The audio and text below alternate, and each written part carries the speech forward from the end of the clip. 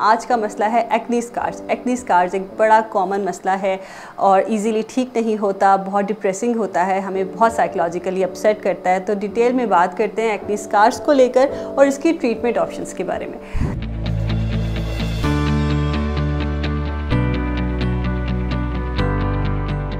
अस्सलाम जनाब this is consultant dermatologist doctor Huma Saleem. Acne scars के लिए सबसे पहले जानना ये ज़रूरी है कि आप जिस चीज़ को स्कार कह रहे हैं, क्या वो स्कार ही है? क्योंकि अक्सर पेशेंट्स पिगमेंटेशन को या एक्नी को कंफ्यूज करते हैं स्कार्स के साथ। तो एक्नी स्कार्स बेसिकली होते क्या हैं? एक्नी स्कार्स एक बहुत देर तक अगर आपके चेहरे पे एक इन्फ्लामेशन का प्रोसेस चलता रहा है, उसके बाद जब हीलिंग होती है तो हीलिंग के नतीजे में वहाँ बहुत सारे कोलेजन के सेल्स इलास्टिन के सेल्स आते हैं और उस जगह के ऊपर एक टिश्यू बनाते हैं। ठीक है? उसकी वजह से अब जब वहाँ पर हीलिंग होगी रिपेयरिंग होगी तो उस जगह का टेक्स्चर नॉर्मल स्किन से थोड़ा मुख्तलिफ़ हो जाता है, अगर वो अमल बहुत देर तक होता रहे। इसीलिए कन्विंस किया जाता है कि टाइमली अपनी एक्नी को ट्रीट करें। उस वक्त हम इस चीज़ की ग्रेविटी को समझ नहीं पा रहे होते कि कितना इंपॉर्टेंट है टाइमली एक्नी ट्रीट करना, क्योंकि एक्नी ट्रीट हो जाती है या एक्नी हील हो जाती है बट स्कार्स रह जाते हैं। अब एक्नी स्कार्स की डिफरेंट टाइप्स होती हैं और उनकी टाइप्स के ऊपर डिपेंड करता है उनका ट्रीटमेंट अब हर पेशेंट दूसरे पेशेंट से मुख्तलिफ़ है। एक्नी स्कार्स का ट्रीटमेंट बहुत कमिटमेंट चाहता है डॉक्टर का भी पेशेंट का भी। क्योंकि ये कोई ओवरनाइट ठीक नहीं हो सकते एक से दो दिन में ठीक नहीं हो सकते इसमें हमें कम से कम छः महीने लगते हैं कि इनकी अपेरेंस बहुत कम हो जाए।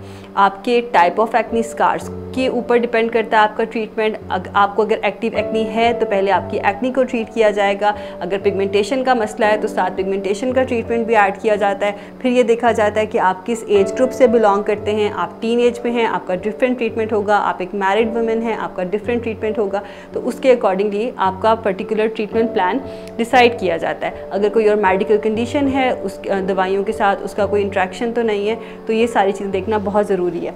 अब एक्नी स्कार्स की टाइप क्या क्या होती है? एक होते हैं फ्लैट स्कार्स जिनको हम सीकर ट्रिक्स भी कहते हैं। वो बिल्कुल सर्फेस के ऊपर होते हैं, वो फ्लैट होते हैं, वो ईजीली हील हो जाते हैं, क्योंकि वो बिल्कुल सुपरफिशियल होते हैं। स्कार जितना डीप होता है उतना देर से इतना देर से ट्रीट होता है और उतना मुश्किल से ट्रीट होता है। उसके बाद स्कार की एक टाइप होती है आइसपिक स्कार जो कि बहुत गहरे होते हैं। जैसे किसी सुई से किसी जगह पे सुराख कर दिया जाए तो वो ऐसे गहरे स्कार्स होते हैं, बहुत मुश्किल स्कार्स होते हैं।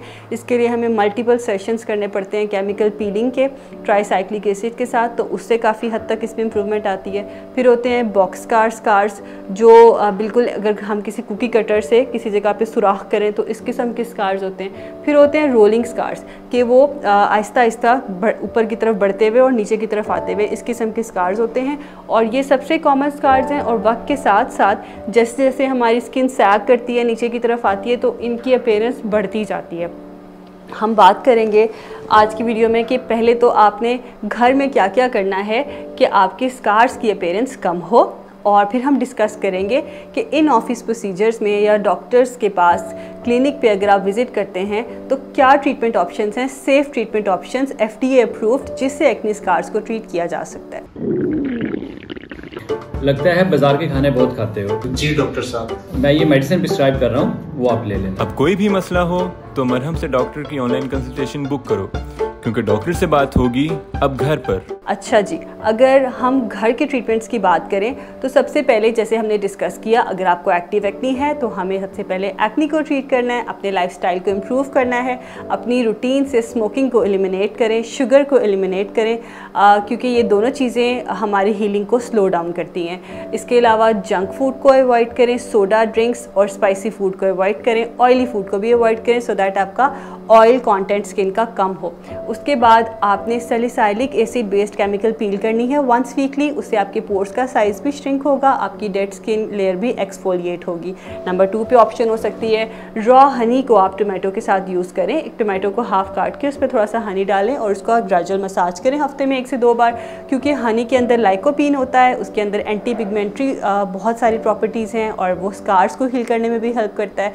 इसके अलावा आप क्या कर सकते हैं, आप योगर्ट को इस्तेमाल करें, थोड़ा सा लेमन जूस उसमें ऐड करके, वो आप डेली बेसिस पे लगाएँ तो उसे भी एक से दो हफ़्ते में आपको लगेगा कि आपकी स्किन बहुत टाइटन हो रही है, क्योंकि योगर्ट के अंदर लैक्टिक एसिड मौजूद है, जो स्किन को ऊपर की डेड स्किन लेयर को रिमूव करने में हेल्प देता है और नेचुरली स्किन को ग्लो करने में हेल्प करता है। इसके अलावा आप कोकोनट ऑयल का इस्तेमाल कर सकते हैं। कोकोनट ऑयल का मसाज करेंगे ट्वाइस डेली तो उससे आपकी स्किन की जो है ब्लड सप्लाई बेहतर होगी और मॉइस्चराइज होगी आपकी स्किन और उसके अंदर टेंडेंसी डेवलप होगी इम्यूनिटी बूस्ट होने की।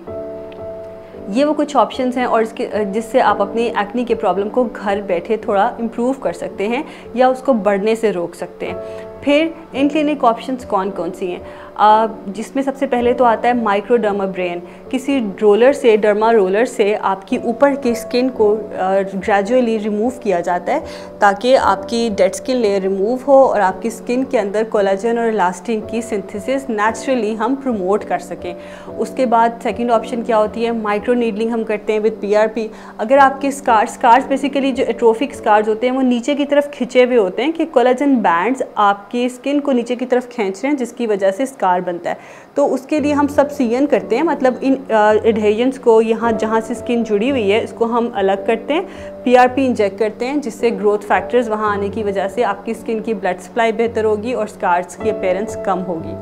इसके अलावा केमिकल पील्स की जाती हैं इन क्लिनिक क्लिनिक के अंदर केमिकल पील सेलिसाइलिक एसिड भी बहुत इफ़ेक्टिव है एक्नी स्कार्स के लिए ट्राईसाइक्लिक एसिड भी बहुत इफ़ेक्टिव है एक्नी स्कार्स के लिए और जिनकी स्किन बहुत सेंसिटिव है, उनके लिए ग्लाइकोलिक और लैक्टिक एसिड की पील्स का इस्तेमाल किया जाता है। फिर अगर स्कार्स बहुत डीप हैं, बहुत क्रॉनिक है तो उसके लिए हम फ्रैक्शनल सी लेज़र का इस्तेमाल करते हैं। अगर आपकी शादी है, कोई इवेंट है और आप इंस्टेंटली चाहते हैं कि स्कार्स हमारे अपेयरेंस में ज़रा कम लगें तो उसके लिए हम इन ऑफ़िस फिलर्स का इस्तेमाल करते हैं, जिससे इंस्टेंटली आपके स्कार्स फिलअप हो जाते हैं और आप अपने इवेंट को इजीली गुजार सकते हैं। फिर कुछ स्कार्स ऐसे होते हैं कि जिनकी सराउंडिंग स्किन खिंच सी जाती है और जिसकी वजह से उनके पेरेंट्स बहुत बुरी लगती है तो उन स्कार्स के लिए हम बॉटॉक्स भी लगा सकते हैं, ताकि सराउंडिंग जो मसल्स है वो रिलैक्स हो जाएँ और आपके स्कार के पेरेंट्स कम नज़र आए। इसके अलावा कुछ स्कार्स ऐसे होते हैं जिनको हम हाइपरट्रॉफिक या किलोइड कहते हैं, वो ये वो स्कार्स ये होते हैं किसी चोट के नतीजे में आपकी स्किन वहाँ से उभर जाती है और वो ज़्यादा बड़ा लगना शुरू हो जाती है। तो वो एक डिफरेंट स्टेट है, उसके लिए हमें उस स्कार के अंदर स्टीरॉइड्स को इंजेक्ट करना पड़ता है और उससे हमारे स्कार्स काफ़ी हद तक इम्प्रूव हो जाते हैं। तो जी, ये वो सारी ट्रीटमेंट ऑप्शन हैं एक्नी स्कार्स के लिए जो हम घर में या क्लिनिक में हासिल करके तकरीबन चार से छः महीने के अंदर अपने स्कार के पेरेंट्स को बहुत रिड्यूस कर सकते हैं। लेकिन प्लीज़ किसी क्वालिफाइड कंसल्टेंट डर्माटोलॉजिस्ट को अप्रोच करें और अपने पैसे, अपना टाइम अपनी एनर्जी वेस्ट होने से बचाएँ। जी, इसके अलावा भी अगर आपके जहन में मिलाजमा डार्क स्पॉट्स पिगमेंटेशन से रिलेटेड कोई सवाल हैं तो आप मरहम के प्लेटफॉर्म के थ्रू मुझसे रबता कर सकते हैं। अपना बहुत ख्याल रखिएगा। Thank you